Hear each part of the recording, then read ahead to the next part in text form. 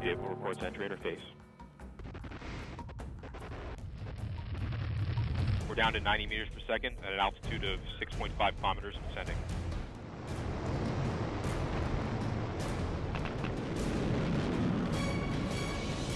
Touchdown confirmed. We're safe on Mars.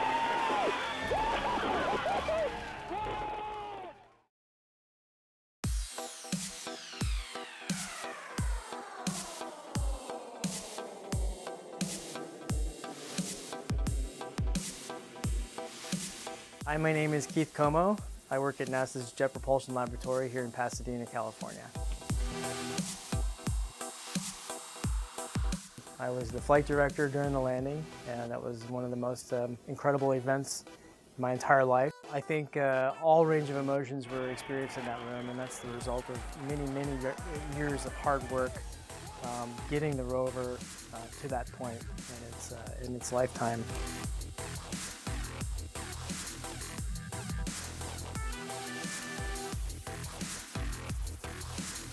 I studied mechanical engineering and physics uh, during my time at LSU. I was a double major.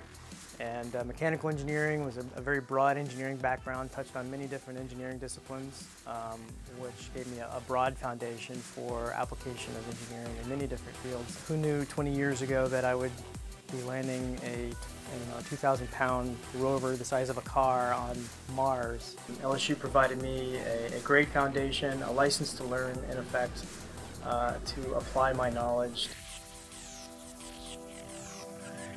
Curiosity rover loves purple, lives gold.